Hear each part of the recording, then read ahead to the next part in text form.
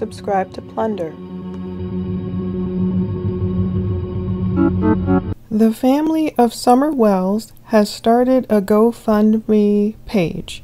I know it's from them because I was checking the Facebook page of Candace Harrer, I guess Candy. I believe this is Candace Wells' mom, so that would be Summer's grandmom. I saw this missing child, Summer Wells, five years old, missing since June 15th from Rogersville, Tennessee. And I saw this new link. So this just happened an hour ago.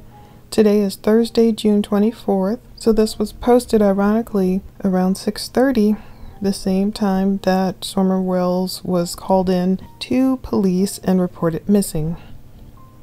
So it says Finding Summer Wells, organized by Rose Meyer. We'll head on over there. Already people are questioning it, but it is a Finding Summer Wells Missing Child update. People are giving thus far 100 dollars have been raised out of a $10,000 goal. Rose Meyer, I'm not sure who that is, and two others are organizing the fundraiser created six hours ago under accidents and emergencies. It says, on the evening of Tuesday, June 15, 2021, five year old Summer Wells of Hawkins County, Tennessee vanished without a trace. Now, earlier the press conference said that Summer's last sighting was earlier that afternoon. Summer had been planting flowers with her grandmother and decided to go into the house to play with her toys. She hasn't been seen since. The family lives in rural, mountainous Tennessee, and the property is surrounded by woods. Search dogs have found no trace of her scent, and search parties have found no sign of her. Where she went or what happened to her remains a mystery. The stress of having a missing child is unimaginable. The grief is unbearable. This makes daily functions, such as working, interrupted.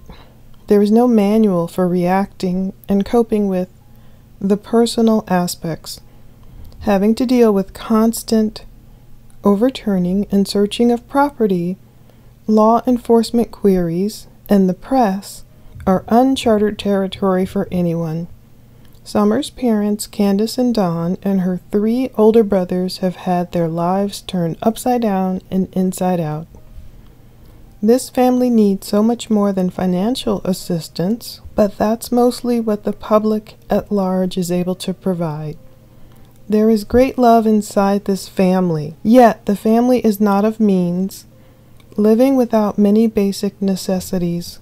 Certainly they have made do with what they have and formed a loving family, yet could use some support.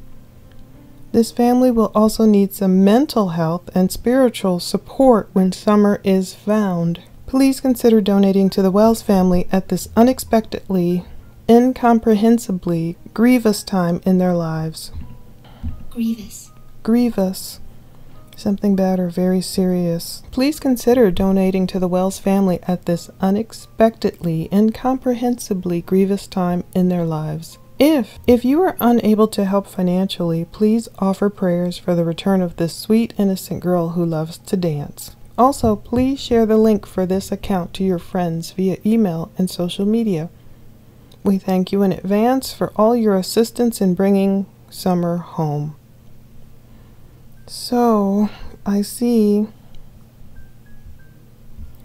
that the organizer is from Rogersville, Tennessee, and they're different team members. And I know this will be controversial. It'll be, it brings conflicting emotions. It's like, it's almost like I want to give. I want to give, and I've thought about that. I want to give towards a reward. I was thinking, should I send money to the sheriff's office? But I know they are not having the time to deal with all these rewards right now. I thought of even sending money to their Seventh day Adventist church.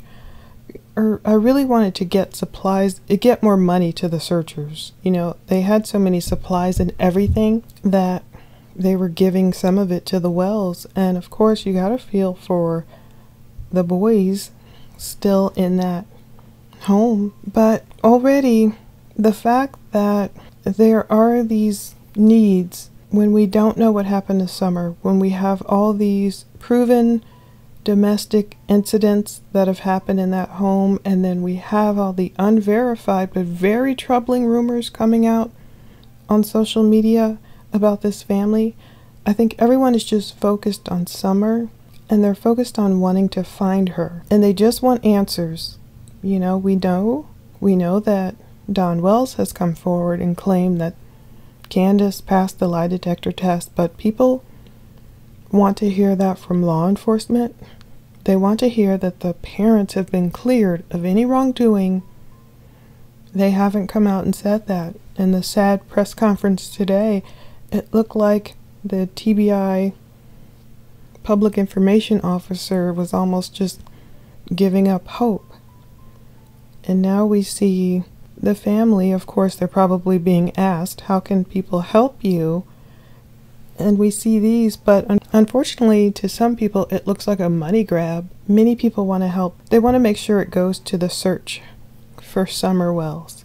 They want to make sure it goes towards her well being and the well being of the children in the home and not for any other purposes. It's just very conflicting. I know the GoFundMe will be controversial because this post from Christian Juan of WCYB has already got tongues wagging. Many of you have reached out asking how you can help Summer's brothers. Here's some information from their church family. The family likes to eat Little Caesars or any pizza, Golden Corral, and Mama's House. They like Hot Wheels, model cars, and could use a tablet. Would love to go to any indoor trampoline park. Waylon is age 9, shoe size 6, clothing size 10 through 12. Wyatt is age 11, shoe size 9, clothing size 14 through 16.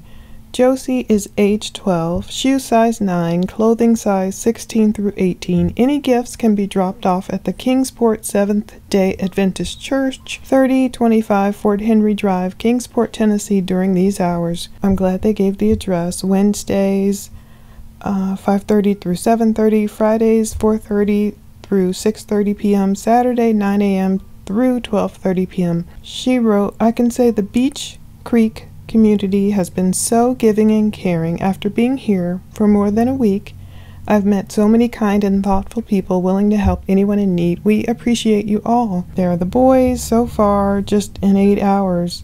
Today, Thursday, June 24th, since it was posted at noon, the comments are going crazy. People are wondering, please rescue this dog. Is this dog pregnant? And so they have issues and I wonder if that's that famous barrel that used to say for sale. I don't know. It's we want to help. It's conflicting because we want to help. People want to reach out. They want to do anything they can and they just feel what do we do? If you go to the comment section on this post, you will see some people are outraged and some people are saying, "Oh, are you making money off of Summer's back?" Or you know, why is it going towards these things? And others are saying, don't judge them. And I can imagine all the confusion. Me, in the meanwhile, just like many others, I think the conflict is there because we don't know what happened to Summer. If it were some tragedy, we just don't know. And so people do want to give and reach out. At this point, I want these boys to be okay. Maybe if it were a GoFundMe strictly for the boys, or I don't know if this church would accept checks and send them to the boys, like to make sure they're okay, because they are children and we don't know how they've been raised or what they've been through. That could be an issue. There's a lot of conflict because people don't know what's going to happen. Just like with the Barry Morphew case, the Finding Suzanne Morphew GoFundMe got all this money and it's still just sitting there and her husband was arrested. So it's that conflicting feeling of wanting to do something, wanting to give to the right place, but not knowing what.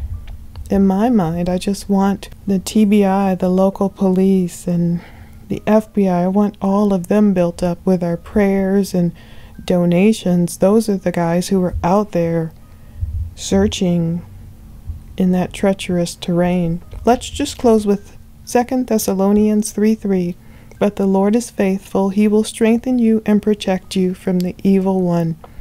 We'll just pray about where to give, how to give, what to give, and take the news day by day and continually pray for Summer to be found and for God to reveal the truth of what really happened to her so this confusion can go away.